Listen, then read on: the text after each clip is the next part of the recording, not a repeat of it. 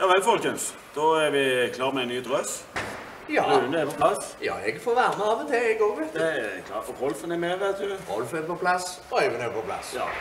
Rolfen er vel med, mest klar for avreise. Han eh, trippa litt, klar for Thailand. Ja, han reiser jo morgen, tidlig morgen. Tidlig morgen. Så ja. Hva skal vi ta og snakke om litt i dag? Nei, vi må jo gå inn på kampen vi reklamerte så godt for, og Ja. gleder glede oss sånn til. Og det ble jo mer enn hva vi gleder oss til. Det var litt av en kamp. Ja, og er klart. Men det som jeg syns òg var litt løye, hvis vi går litt tilbake til dagen før Ja, Gikk så til punkt og prikke, som Tommy sa. ja, definitivt. Og vel så det. Ja. Men Han regnet med seier, men jeg tror ingen regnet med så klar Nei, ikke så klar en. Nei. Jeg var litt skeptisk når vi skulle møte henne, så jeg har forsterka med bud, blant Ja. annet. som vi frykter. Han så jo ikke. Nei, jeg så ikke han i denne hallen, jeg iallfall. Han var der, men Ja, jeg eh, så draktnummeret, men jeg så ikke han eh, gjorde noe det, der. første rekken ble jo tatt helt ut. Til de grader. Så nei, det var vet du hva, en forsvarskamp uten sidestykke fra Oilers. Det, det var Det var, knallbra. det var bra levert i alle ledd. Oh yes. Til de grader, vil jeg òg si. Altså, det Hvordan vi tok ut MS i første rekke. Altså, det virka som det var Nei, de fikk ikke til en skit. Nei, ingenting. Og det målet som gikk inn, det var Det kunne vi òg unngå. trøstemål. Ja, det var trøstemål. Ja. Men det var bare sånn skli-inn-mål. Det var jo ikke Det var Nei. ikke perfekt. Det, det, var ikke, det var ikke flott. Nei, det var det ikke. Ikke like skjønt som fotografen. Nei, Nei. definitivt ikke. Ellers, spillere du har lyst til å trekke frem fra kampen? Fra kampen? Ja, da må jeg trekke frem et par ting, faktisk. Ja. Eh, Nolan Sajak. Fytti grisen. Altså, Fire sist. fire sist som forsvarsspiller, men det er jo ikke bare det han har Bare se hva han har produsert i over Ja. poeng. Det er helt sykt. Jeg, jeg fatter ikke hva den mannen gjør i denne ligaen. Ja, han er for god. Ja, han er rett og slett for god, men jeg håper for all del vi beholder han og Ja, catch ut. definitivt. Ja. Vi må jo bare beholde han. Ja, til de grader. Altså, det, der må du bare cashe ut det det koster å beholde. For en sånn en eh, forsvarsspiller, det har hver en klubb i Europa bruk for. Vi, vi trenger han for å beholde den her, all ære. Oh, nydelig. Men jeg håper jo at det er noen damer der ute som òg er interessert i de amerikanerne som kan gjøre det samme. Kuppe. Selvfølgelig. Vi, vi har jo noen damer som har gjort det tidligere. Ja, Så så ikke det gjør meg ingenting, for å si det sånn. Men nå skal ikke vi drive med, med annonsering. Nei, vi skal, vi skal vel ikke prøve å selge den til noen. Så Ja. Han får, sånn som vi sa det er fra styret selv. Ja, vi snakket jo med han litt tidligere, og da sa vi jo at han er altfor god for ligaen.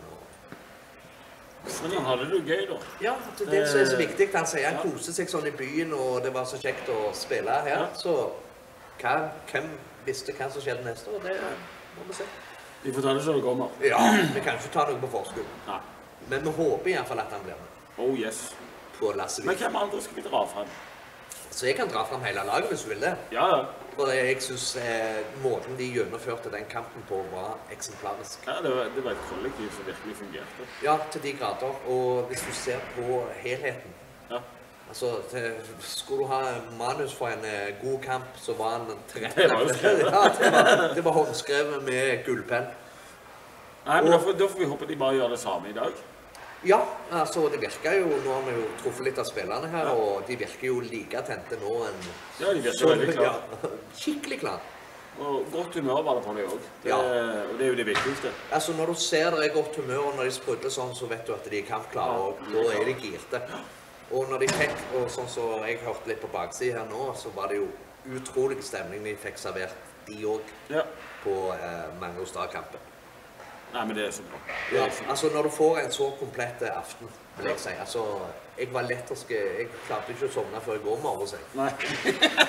Så det, Men nå vet vi jo at det, det er en ny kamp. Uh, alle kamper lever sitt liv. Ja. alle kamper er forskjellige.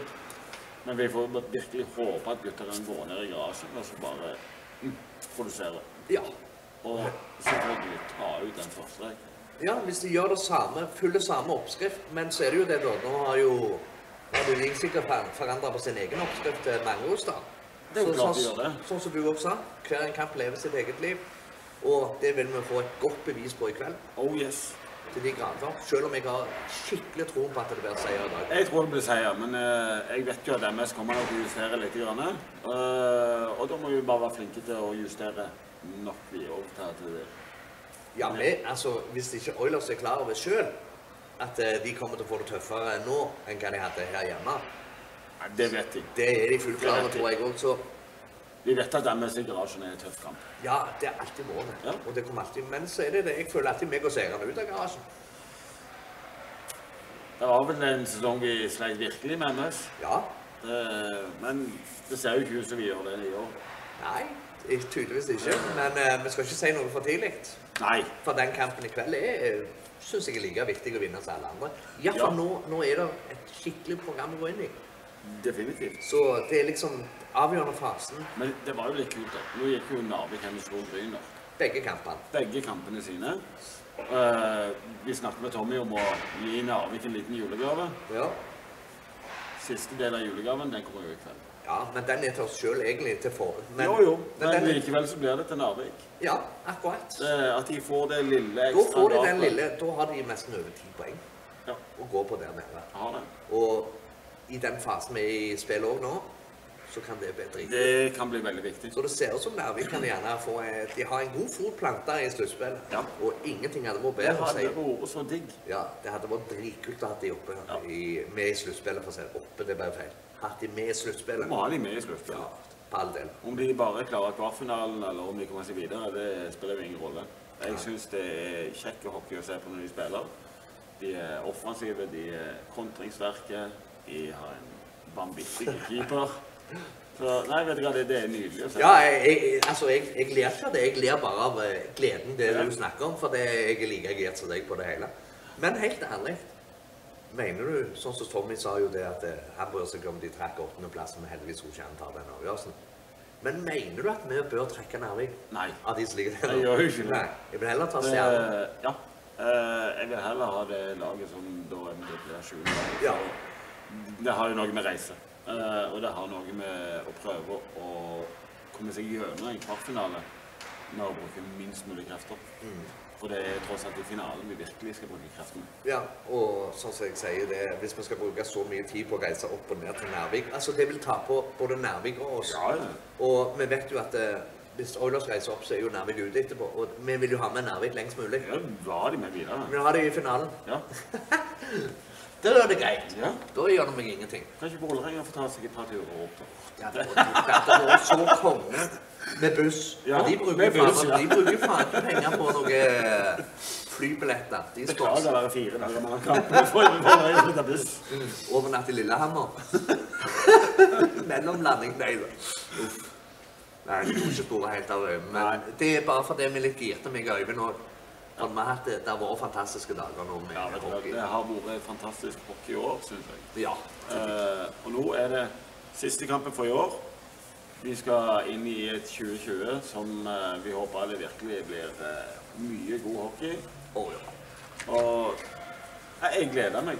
Jeg Ja, jeg- gleder meg virkelig. Gleder meg som en dredunge. jeg. Men nå ble jo jeg aldri voksen i hodet heller, så det er noe Det er vel ingen av oss to som ble nei, den dag det skjer, så må det gå til helsike med alt. Men OK. Uh, ja, det blir mye som skjer på nyår faktisk òg. Ja. Men uh, nå holder vi oss til hockey. Men uh, det er snart nyttår. Det er snart feiring, raketter og god gang. Full pakke. Jeg hadde raketten-utslippinga her jeg nå på kampen. Så det Ja. var noe mer enn nok for meg, de smellene der. Ja. Så det er til de grader. Jeg tror på enda bedre hockey på nyåret. Ja For du vet jo hva som skjer på nyåret. Alle de girer jo mer og mer opp. Alle gjør det. Det, det nærmer seg sluttspill. Du merker det på spillerne òg. Å ja. Så nei, jeg, jeg tror det blir fantastisk gøy. Ja. Det er gøy. Ja. Det er bare forordet. Starten på en setning. Gøy. ja. Ja, Fortsett på en setning som starter med gøy. ja det blir jo vanskelig. Ja, Du hadde vel begynt med gøy på landet, eller Kom hjem og få kumla med opp. gøy i hall. Gøy i hall. Ja. Det at vi skal lage en sang om det. Ha det gøy i hallen. Var det ikke det vi Jo, det, definitivt. Nå er vi helt ute på vidda. Men den er kommet med Dotti, den skal du få lov å beholde. Den vil ikke jeg ha. Nei, du vet, det er, eh, tar jeg også sterk avstand. Ja. Men la kumla være, og Dotten Ja. der der han er. Ja. Ja, ikke stapp den i kumla. Men la meg gå litt tilbake til kampen igjen. For det jeg vil nevne det som Tommy òg sa. Håpte på et bra trykk, Ja. for det fyrte opp. Eh, trykket var jo magisk. Trykket var bra. Trykket var veldig bra. Ja, det var sinnssykt bra trykk. eh, Det var nesten utsolgt til halv òg. Ja. Så det kan vi sikkert gjenskape. egentlig. nesten utsolgt. Jeg synes det er litt sånn Jeg vil at det skal være utsolgt. Ja. Jeg vil at vi skal ha 4250 inne. Ja, det er jo det vi er vant med uh, på denne tidspunktet, når vi leder så godt. Definitivt. Eh, når Oilers leverer varene så til de grader, så syns jeg at da må vi som publikum må stille opp. Ja. Og vi må være der. Ja. Uh, altså, her- får vi virkelig topphockey. Gutta spiller nydelig. Da må vi kunne være der og så virkelig støtte dem. Ja. Til de grader.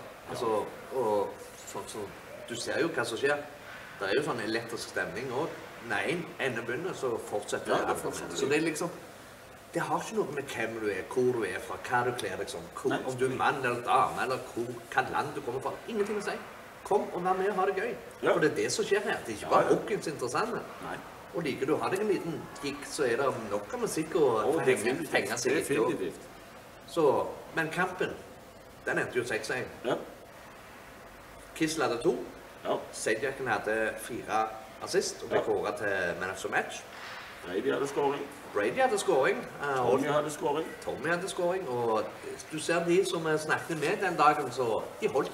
Ja, ja, definitivt. Ja, så det syns jeg var veldig kjekt å se. Ikke minst at Tommy fikk, for han lovte aldri mål. Nei, Han lovte bare seier. han. han lovte han skulle gjøre sitt. Og Ja, skulle ja. Seier. Og det, Det gjorde holdt han til de grader. Ja, Så håper jeg bare de klarer å gjenta resepten i kveld.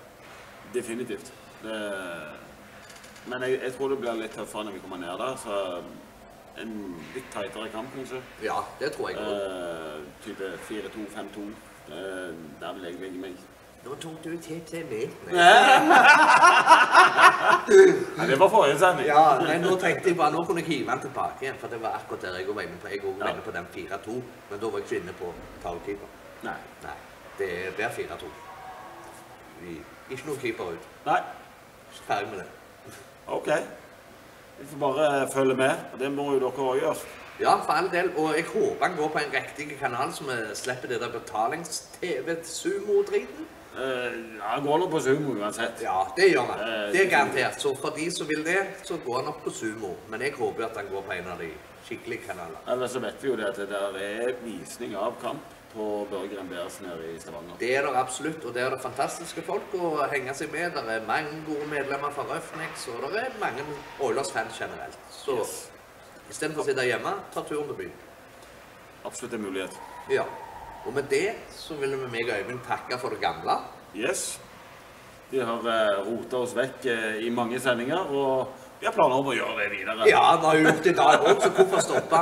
Og så må vi jo si det at det første i første så kommer det litt sånn eh, en ny eh, start på En ny start på drøsen? En ny start på. Drøsen, der dere får se hva egentlig som skjer bak kameraet til tider der vi ikke helt har kontroll. Så Vi har kontroll. Vi har jo aldri Ja, det var jo jeg som Nei, jeg Hadde ikke på han var så god i tegnspråk, han Nei. som filmer, så hadde det gått til hekken for lengst. Definitivt. Men dere har mye å glede dere til i vente, og vi kommer aldri til å stoppe å mate dere. Det skal jeg love dere. Om det blir sommer eller ei, så skal vi alltid ha noe med skøyter å gjøre. Ja, vi skal mase, vi. Ja, til de grader. Nå skal vi og Øyvind ut og smelle noe fyrverkeri, siden vi ikke kommer til å se hverandre så mye mer nå dette året. Det vil si at eh, dere der ute bør holde dere innendørs, for det, dette blir farlig. Ja, til de grader. Iallfall de som bor i nærheten. Ja, ja, ja, ja. definitivt. Men med det, Øyvind, så må vi nesten bare si ha en fantastisk dag i morgen. Kos dere masse. Ikke vær lunte og tenk rakett, noen av dere. Ta pass på hverandre. Så ses vi neste år, og jeg gleder meg en hel haug. Må ha riktig, riktig godt nyttår. Så ses vi igjen om ikke så altfor lenge. Takk for det gamle. Ha det bra.